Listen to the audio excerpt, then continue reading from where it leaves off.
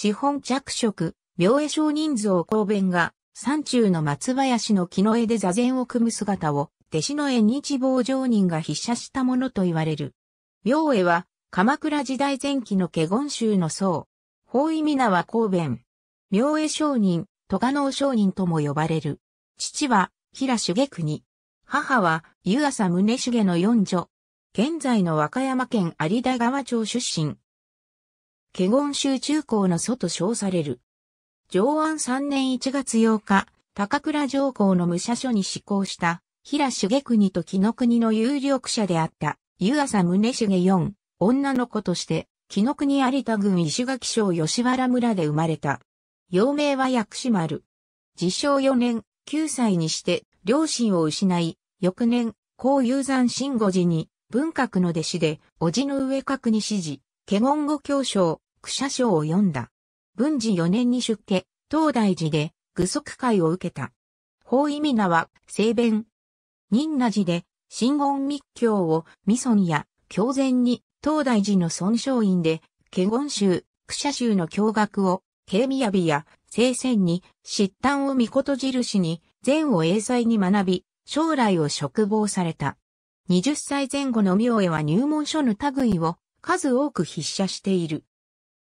しかし、21歳の時に国家的保衛の参加要請を拒み、23歳で続園を立って、木の国有田郡城城に頓生し、この後、約3年にわたって、白上の山で修行を重ねた。この頓生した時に読んだ和歌が、山寺は奉仕臭くていたからず心清くば、クソ服にてもである。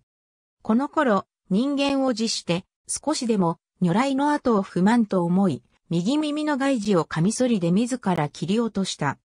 26歳の頃、高尾山の文学の勧めで、山城国都賀能に住み、華厳の教学を講じたこともあったが、その年の秋、14名の弟子と共に再び城城に移った。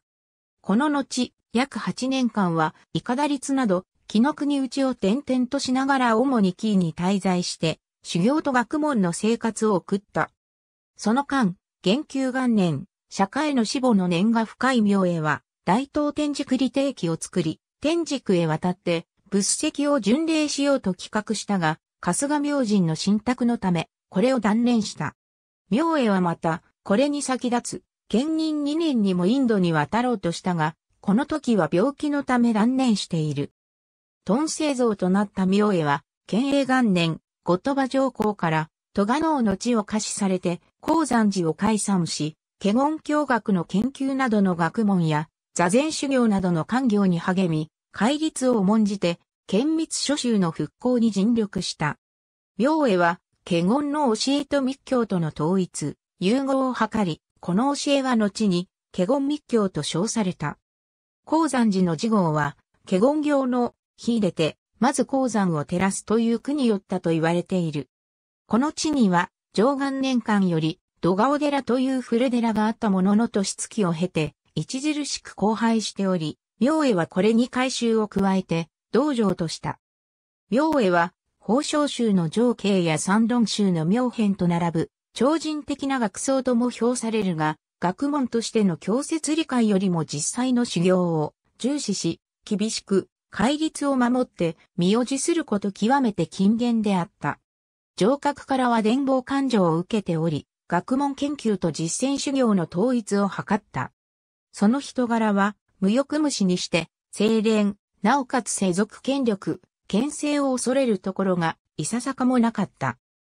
彼の打ち立てた、華厳密教は、晩年に至るまで俗人が理解しやすいよう様々に工夫されたものであった。例えば、在家の人々に対しては三次三法令の行儀により、官無量十刑に解く、常盆上昇によって、極楽往生できるとし、ナムさん方向性助けさせた前あるいは、ナムさん宝棒大神、玄東二世諸願円満等の言葉を唱えることを強調するなど、口述するように、表面的には先週念仏を厳しく非難しながらも、浄土門諸宗の特異行の提唱を学び取り、それによって従来の学問中心の仏教からの脱皮を図ろうとする一面もあった。なお、松尾賢治は、明恵を阻止とする教団を、審議華厳教団と呼んでいる。建略2年、法年批判の書、サイジャリンを表しており、翌年には、サイジャリン総言記を表して、それを補足している。上級3年の上級の欄では、後鳥羽上皇后の廃兵をかくまっている。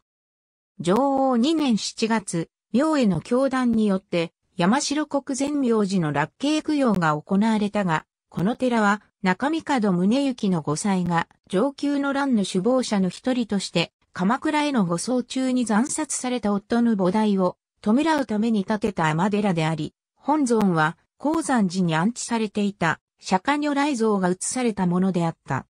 明恵は仏陀の説いた戒律を重んじることこそ、その精神を受け継ぐものであると主張し、生涯にわたり戒律の保持と普及を身をもって実践した。町田双方は、ビクという言葉には、インド仏教以来の戒律を守る人という厳粛な意味が含まれているが、その資格を満たすのは、ひょっとしたら長い日本仏教史の中で、秋江ぐらいかもしれないと述べている。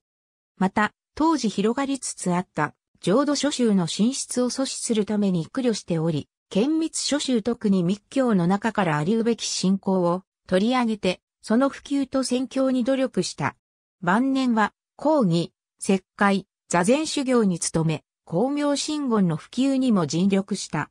寛義三年には、古地である紀州の瀬昔小寺の会期として、湯浅市に招かれた。翌寛義4年1月19日、弥勒の宝号を唱えながら宣言した。去年60。明恵は和歌にも長けており、歌集、明恵商人和歌集がある。次の短歌が知られる。紫の雲の上へ、にぞみを宿す風に、乱れる藤を仕立てて、赤赤や、赤赤赤や、赤赤や、赤赤赤や、赤赤や月夢の夜のうつつなりせばいかがせむ、冷めゆくほどを待てばこそ、荒れ高山寺にある、明恵商人美をまた、英才将来の茶の種子をとがろうに巻き、茶の普及の契機を成したことは有名である。上級の乱で廃兵をかくまったことを起源として、鎌倉法の総司令官として入居した、六原短大初代長官、北条康時との信仰が始まっている。山本七平によれば、康時は、明恵の学徳を深く尊敬し、明恵は、康時の政治思想、特に五成敗式目の制定の基礎となる、道理の思想形成に大きな影響を与えている。その学徳は、後鳥羽上皇、北条安時のみならず、公家では、九条金実、九条道家、西園寺君常、武家では、足立影森、夫人では、平徳氏など多くの人々からの尊崇を集めた。明恵の死後、弟子の機会は、鉱山寺、明恵承認行状を書き表したが、その中に、釈尊が、主上救済のためには、自らの神明を顧みなかったと聞いた明恵が、16歳で登壇受会して間もない頃、キーの藤代王子のハンセン病患者を助けるため自己の心肉を与える覚悟であったという一説がある。これは一種の否認救済神話と言われている。主な著書には、浄土宗を開いた、法年の選択本願念仏集を読んでこれを批判した、上述の最邪林、全三巻、同将言記一巻がある。華厳行で交渉される菩提心を重視した明恵は、最邪林、同将言記において、称名念仏こそが、浄土往生の制行であり、もっぱら念仏を唱えることによって救われるとする、法然の教説に対して、その著作には、大乗仏教における初菩提心が欠けているとして、激しく、これを非難している。40年に及ぶ官業での無双を記録した夢の木のほか、著作は74巻に及び、唯心官業式、三次三法霊尺、華厳仏光三倍館秘宝像、華厳唯心儀、四座公式、入り毛脱門儀、華厳の豚ネギ、光明真言区儀尺などがある。廟への著作を収載した漢本には以下がある。ありがとうございます。